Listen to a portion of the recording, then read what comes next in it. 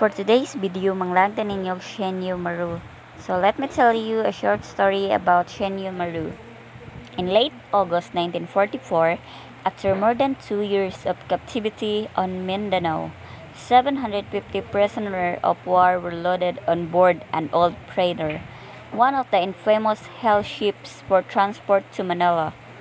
228 of those prisoners were from 19th Bombardment Group. The ship was not marked as carrying POWs. During its northward voyage on September 7, 1944, an American submarine sank the Japanese freighter off Sindangan Point, Mindanao. The Shinyo Maru sank quickly, and 668 prisoners of war died that day. 210 were members of the 19th Bombardment Group.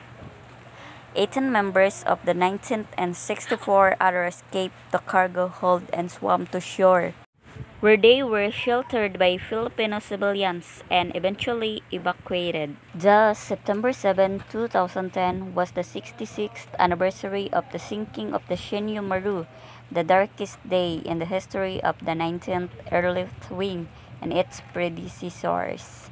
And the end. Thank you for listening and watching this video.